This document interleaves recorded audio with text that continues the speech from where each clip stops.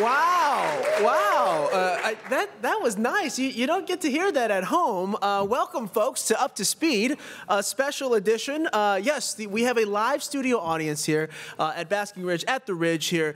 And this is a little something different. Uh, we are live from the Leadership Forum. And as you can see, uh, there are a few more people than usual in this room. It's been 14 months, and we haven't seen this many people. Now, I just want to make sure we, we talk about this um, here in New Jersey as I cover my date of birth.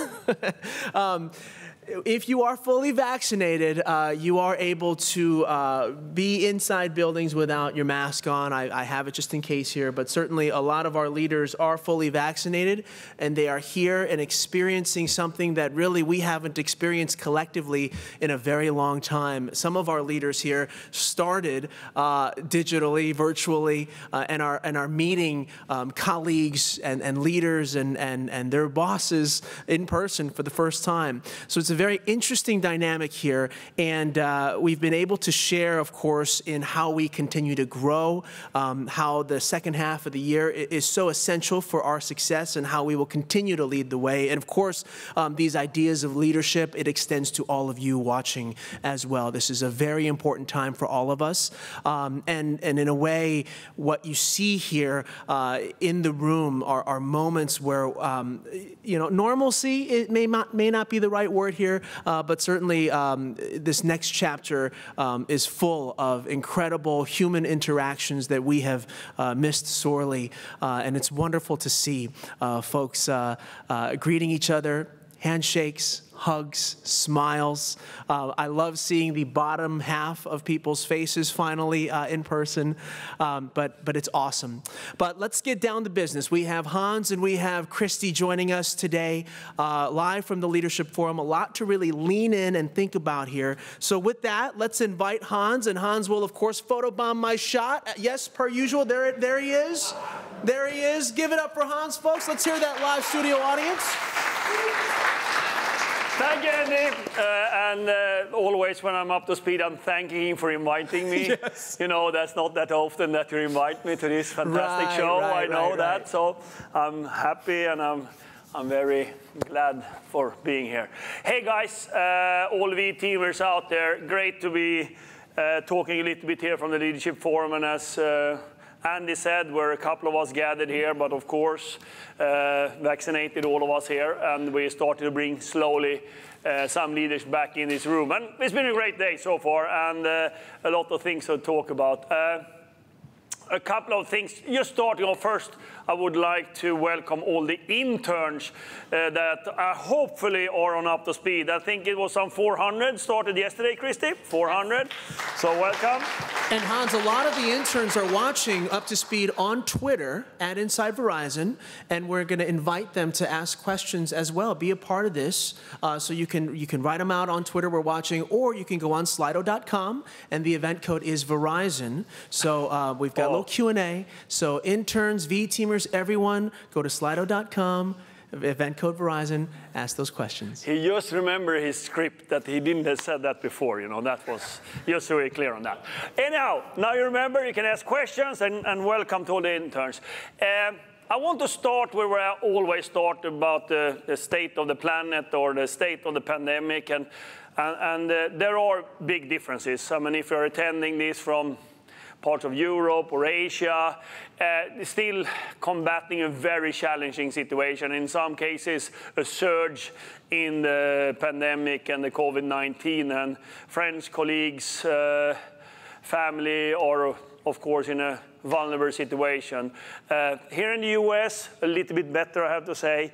Uh, uh, an enormous effort of vaccination the last three, four months has made us coming slowly back. And uh, so it's very different. So sometimes when you make statements, you need to think about it because there's so different situations for many of the V-teamers and the colleagues and families and customers. So uh, I won't start there. And, and also talk about the front line. I mean, I taught so much about the frontline all year, and I had now the chance, together with many of my colleagues in this room, has been going out to the stores, meeting field engineers, thanking them for the for the last 18 months, uh, being out there to, with our customers, for the society, doing the great work, and it's a reason why we're here today. And, and uh, our networks has been up, everything has been working, our customers uh, has been supported through this time. So it, has been great for me to come out and see what is happening and, and how, how all of you out there have done a terrific job for the company and how we have come together as a company as well. And Christy will talk a little bit more about that later on. So I will not steal a thunder for her. I will just start saying on the Pulse Plus, which we do once a year with more questions, we had 113,000 V-teamers, 87% of you responding. I think that is the biggest vote of confidence that you have, that what, what you say matters to us. And it does. And it matters to the leaders. It matters to your colleagues, how we, uh, with that information. So for me, that's the most important indicator I have. If you are responding to the Pulse Plus, we know that you believe we're going to do something, and, we will. The people in this room, the leadership forum, and all the leaders in the company in the coordination uh, with all of you discussing the results, because it's different result in different areas, for sure. Uh, so that is important for me uh, to see that vote of confidence. Other than that, here at the Leadership Forum, we talk about the second half, of course. Uh, but we talk also a lot about our long-term plans, our five-year plans, the North Stars for employees, customers, society, and shareholders. Focusing a little bit more on shareholders this time, talking about where we are bringing the company forward. And of course, we spend time on the five vectors of growth and our network and our investment in networks. That we have been discussing this morning. Uh, first, if I start with the network, the investments we're doing in the network right now, uh, of course, with the C-band investment, we were on that, but also the millimeter wave on wireless, the fiber, uh, and the whole IEN, the Intelligent Edge Network that was designed some four three, four years ago, and all the deployment we're doing in order to have the continue to have the best network and also accelerate that leadership. And on top of that, being able to build new businesses and strengthen our core business of today. That's the whole idea with the five vectors of growth, and we talked about the 5G uh, adoption, where the mobility case, where we now have the biggest 5G upgrade ever uh, that we came out with, uh, I think it's a week ago right now, where we want our customer to be part of our 5G journey to migrate and enjoy all the greatness we're building in the 5G. But then we also have the 5G home there in the 5G adoption or fixed wireless access, which still is something we really need to execute well. Uh, to come out with strong at the year end here and going into 22. Very, very important for us. Then we have a couple of other areas. The mix and match is, of course, another area of the five vectors of growth. You have seen a couple of new announcements recently, um, especially around the gaming area. There we are now doing partnership with the gaming guys, as we have done with Discovery Plus, Disney Plus, and all of that before. All in order to see that our customer not only have the best network, they also have the best experiences on that network. So that's great to see. On the 5G mobile edge compute or business to business, Tammy has been talking a lot about what we do today and how we can win tomorrow with all these applications uh, that we now are building, but also seeing that we're doing everything we're doing with what we have today. So it's both what we do have today, but also how we're preparing for the future. So it's a lot around the 5G mobile edge compute, of course, private, public. You have seen announcements coming out. We get traction with customers. Very important for us the years to come. Uh, and then uh, we have our monetization, the MVNOs that we're working with, which also is continuing pretty well. And finally, the last vector of growth is uh, the new areas we into. We have Visible today, and and we have a pending acquisition of uh, TracFone that is not approved yet, but hopefully later this year, or it will be approved later this year. And then we also have a great play in the value segment. So that's where we have spent the time. And what do we need to do in the second half of this year? And what do we need to do beyond to actually hit those targets and, and, and, and see that we're doing the value creation? Because it's clear we have a lot of vote of confidence from our shareholders because we actually invested 53 billion US dollars in the C-band to, to be an even stronger company now with additional spectrum. And then we added also 10 billion in more capex or uh, capital expenditures over the next couple of years. So all in all, we're doing big investment in our core business in order to both accelerate and amplify our, our, plans for the five vectors of growth. So we have talked about that, and I think for us, that's really where the focus is on this leadership forum. Then we should not forget that we always talk about all our stakeholders. So we later on today going to talk about our society and uh, uh, and what we're doing in that area, which is so important in today's uh, world, where we not only are doing the right for our shareholders, for our customers and employees, but also we show up right in our society. So that's how we're going to spend the day here today with the uh, leadership forum and the, and the leaders of the company. And I mean, I'm, I'm, excited after the first couple of hours uh, what we've discussed and uh, how we're progressing. But it's a lot more to be done. Uh, I think we have all the assets now in place for executing the long-term strategy we have. So that's for us to execute, and um, second half is important. The next five years are important, and that's uh, how the conversation is going.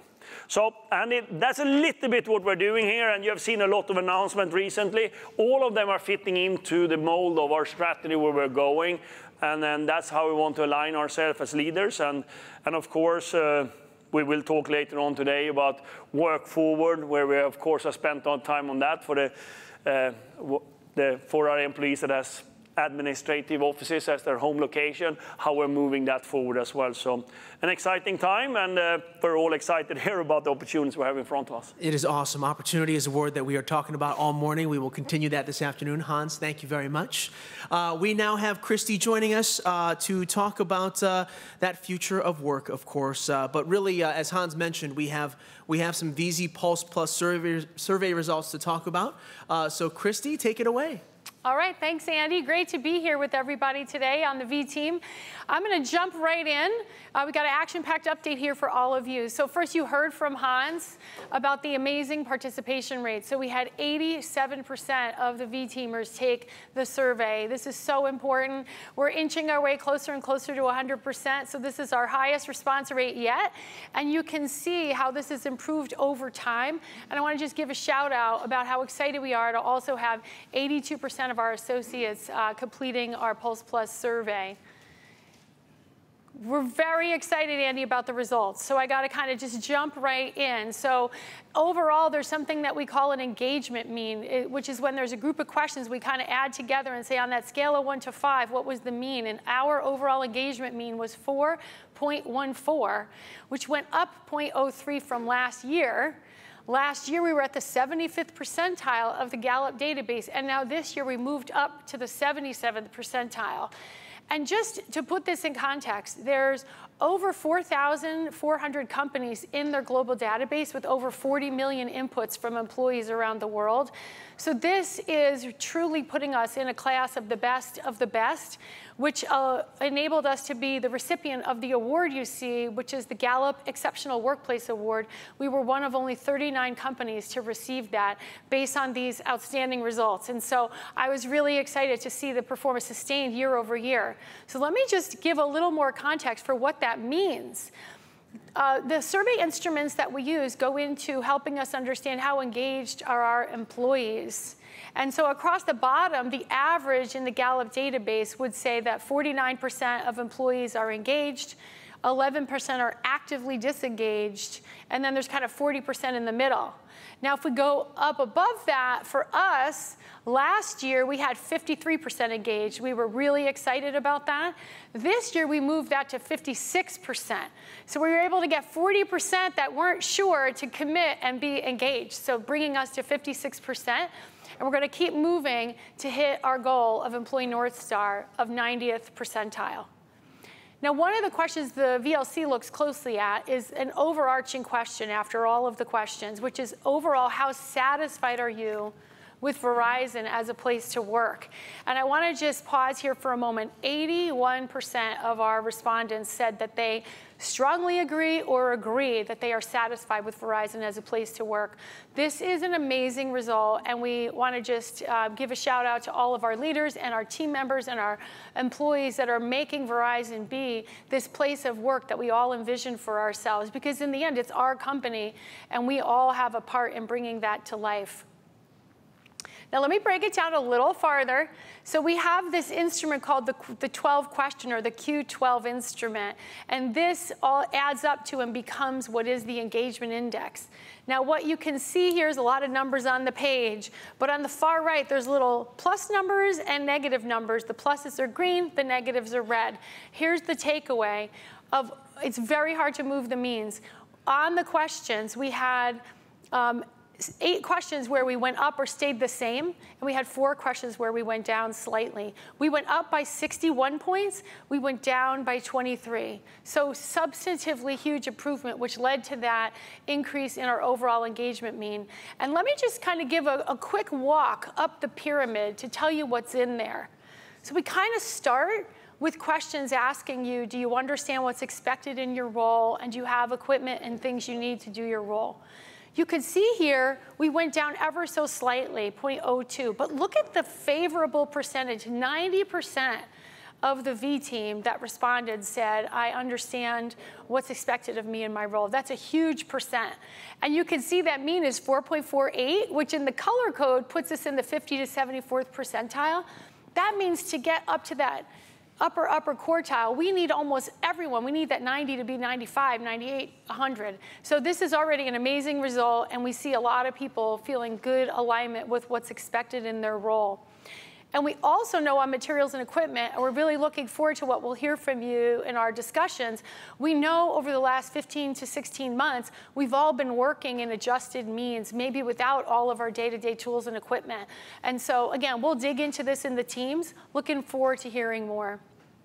Then we kind of move up and ask you questions about your individual contribution.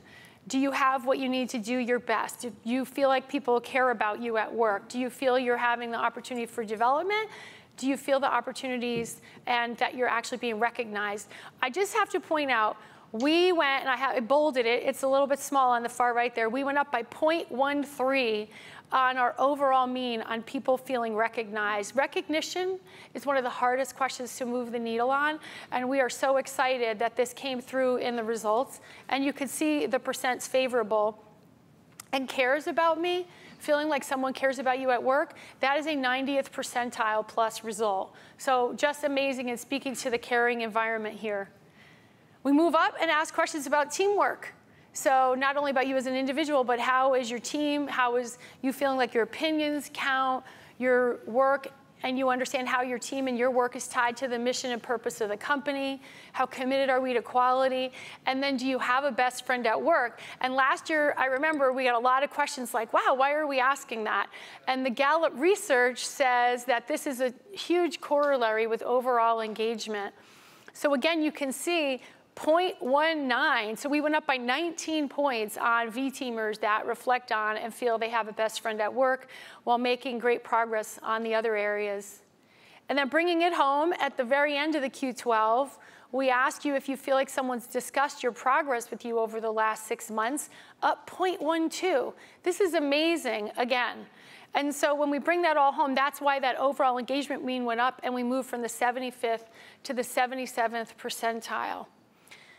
We also asked some questions about um, leadership and the uh, principles that we have for leadership, our values, inclusion, and empowerment. And you can see that we have really high scores across the board here, and each of the teams will be able to dig into that and look at where we went up or down during prior year. These largely, you know, the moves were, were very, very close, but uh, pretty excited about the answers and the insight we're gaining from here. So no surprise, what's next? Well, this is, the, this is the live launch for all of us, leaders and employees globally, about these results. We're really excited about them. Tomorrow, all of the teams will be able to go into the dashboards, access their reports, and start diving in. Our goal is again to ask all of the teams to have a conversation about their results led by the team leader, and then to really reflect on your action plan, update, add new items to it, retire the ones that you feel have been completed, and again, continue to set us on a path to our employee North Star, which is to hit that 90th percentile of engagement. And so, Andy, that's my update on Pulse.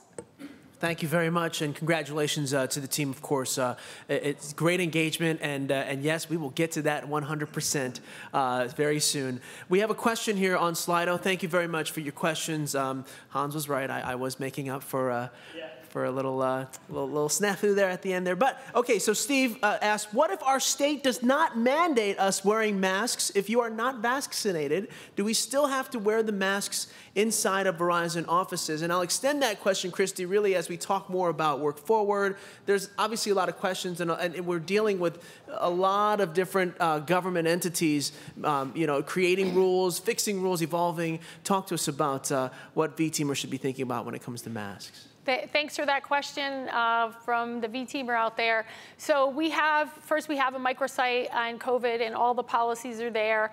Um, the CDC's guidelines are the ones that we're following and uh, what that states is that if you have been fully vaccinated and you're past your 14-day waiting period, um, you no longer are required to wear a mask internal or outside of buildings. And that's what we're using applying to our workplaces uh, for both employees and customers and visitors. Christy, thank you very much. Um, and of course, uh, quick plug, Christy and I have done two episodes on Work Forward, uh, and uh, there's a lot of information there, uh, and uh, it's definitely uh, something to take a look at. So you can take a look at that on VZ Web, on Twitter, Inside Verizon.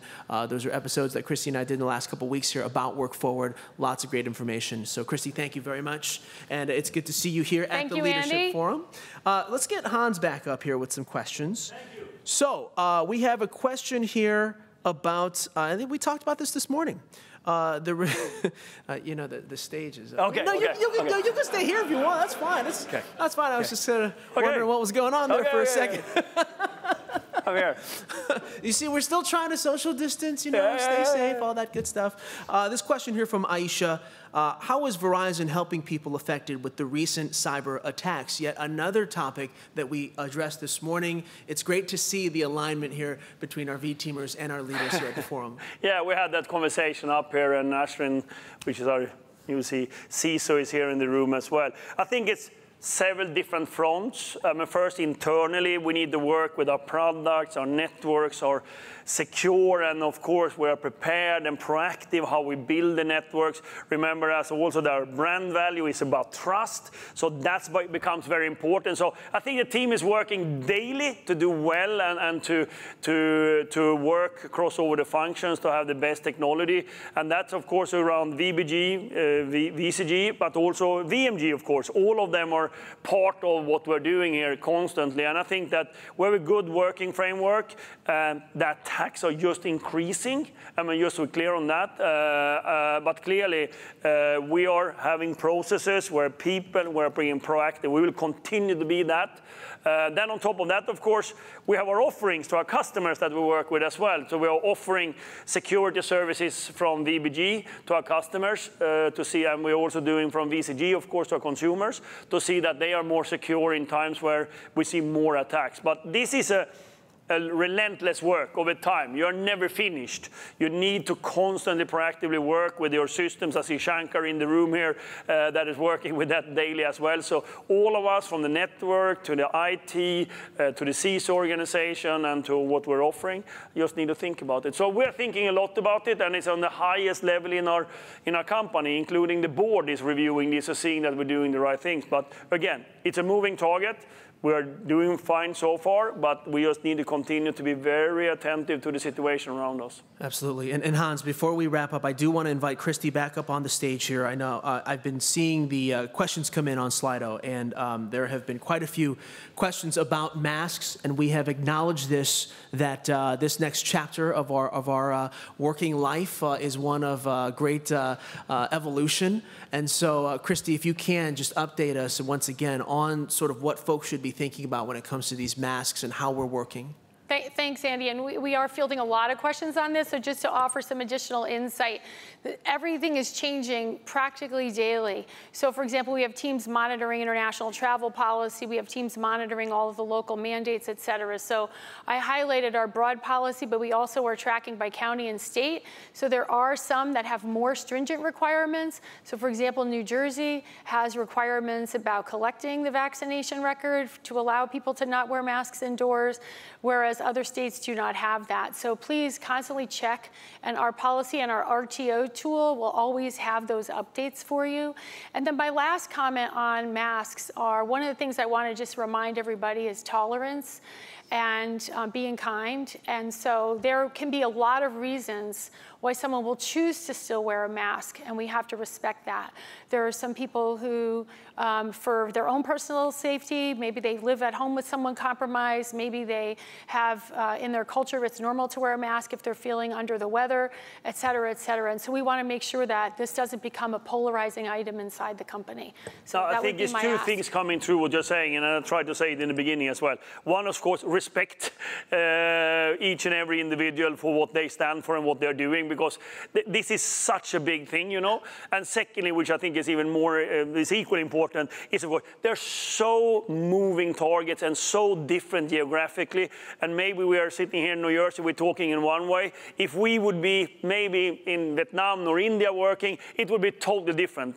Uh, so it, it's just a moving target. So we just need to be close. So that's why the website becomes that's so important right. because that's the relevant information that Chris and the team is putting on all the time, and that is relevant because sometimes a blanket statement high up, you know, it's, it's not good enough because it's so detailed and has to be in the right jurisdiction where you live, and things can change as well. I mean, uh, we have seen changes from okay. governors here in the US or prime ministers in other countries immediately, and then two, two days later you need to change the rules. So uh, that's why it's become so important to have this digital tool that we have and the work that we've done with all this COVID response it's not over. Continue to follow the rules, principles, read, talk to a manager closest to you to have the latest information. Yeah, and that conversation will certainly continue. Christy, thank you very much. And as we wrap up here, uh, Hans, uh, uh, your, your, final thoughts uh, for the team. It's, you know, I was thinking about this, and, and last year, June 2020, um, what we, we were we, we watched you up there and you addressed uh, a lot of the pain that we were suffering.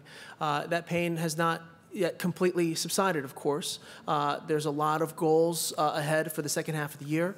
Um, and as we think about leadership, we think about compassion and empathy. Uh, your thoughts, not only for our leadership team, but for our V team. No, it's a balancing act we're running here every day across the company. We need to run our business. We need to continue to serve our customers and see that we have the freedom to continue to invest as we're doing. At the same time, we have a situation around us uh, in the world and uh, wherever we are that we need to be very attentive to. We need to also be attentive to the society around us. Everything is happening. Uh, and, and I think that we have the frameworks uh, to work with all the different stakeholders, from the shareholders or the customers to engagement with us as employees, the V-teamers, you saw what Christy was presenting, and then, of course, what we're doing in society, what we stand up for. But what we stand up for is our core values, and I, I think, Danny, you're referring a little bit to that. I mean, we have seen the uh, racial injustice and uh, the economic downturn and so many things. We stand for actually uh, uh, diversity, inclusion, because it makes us to a much better company. We will continue to fight for that, and we're going to continue to have the conversations on it all the time because it makes us to a better company, a much stronger company when we reflect, reflect what's happening in our society. So it's a lot of those things that are happening, but at the same time, we need to run the company because ultimately we're customers depending on us every day to do their business, to be connected, be with their friends, and that's all networks. I mean, the physical networks or the social networks that uh, Guru and the team are running every day as well, because people are dependent on this, and we are a big part of the society today, how we are doing that, and that's ultimately uh, our business, and that business is, is bringing us forward both for the shareholders, for the employees, customers, and, and society. So I think that's the final word. We are here, we're going to continue to discuss, but I want to also re reinforce that the transparency we're working with, Christy is announcing the Pulse survey here to all employees at the same time. Nobody has ever seen them. I saw them first time yesterday night because I got the script from, from Christy. I've never seen it before. That's how we want to work. We want to be transparent with all of you employees, what we're doing well and what we're not doing well, and what we can improve. And remember the last slide that Christy talked about? Now it's time to engage. And it's not waiting for the leaders. You need to also go to the leaders and ask them, okay, what was our result? How are we going to act on it? What are we going to do this time? Because if we take actions, we're just going to continue to do this. And a strong V team is going to beat everything out there, and that's going to make the big difference for us as a company. So once again, thank you all for uh, being at UTS, and thank you for inviting me. Great to be here. I love to be at UTS. Uh, the the, investi- the invitation stands for any stands, up to speed. You can okay. anytime. You can uh, photobomb anytime. Okay. Uh, Hans, thank you very much. And as you mentioned, this is um, all about making sure that uh, we all feel that sense of leadership and that we can feel that sense of ownership too when it comes to leading not only uh, our teams and our colleagues but ourselves. Um, and I'd like to end on um, Christy mentioned. This is about empathy. This is about caring about each other. And this uh, slide here we're about to share um, shows just how much we care. We, we've been talking about uh, India, of course, and, and all that's been going on over there. And as we have talked during previous up to speeds, uh, there was an opportunity for us to give back. And as you see here from the numbers, um, these are just incredible. Uh, $100,000 direct Verizon donation, and uh, Verizon uh, made sure that the employee donations were matched two to one. So you take the 265, the two to one match at 530, uh, and uh, you add that to the 100K, uh, and you're looking at a grand total of $895,000 going to help um, the, the folks in India who are, are still suffering. And, and this, to me, embodies what it's all about being a part of this company that we look out for each other, we lead with empathy and compassion. Uh, it's, it's a wonderful feeling to know uh, that we are continuing to think about each other during this time. There's a lot that we can be excited about, proud of, uh, and as we uh, enter this new phase here, as we see the smiles, and once again, as we see, as we hug and embrace and shake hands and, uh, and find those sort of new chapters here, uh, the hope is that we also find that empathy and we continue that to be our connective tissue. So, uh, with that, thank you very much for watching, everyone. Uh, the leadership uh, meeting will continue here uh, in Basking Ridge. Uh, but for the folks watching here, uh, V Teamers, especially big shout out to our interns. Thank you so much for watching. And of course, until next time, you're up to speed.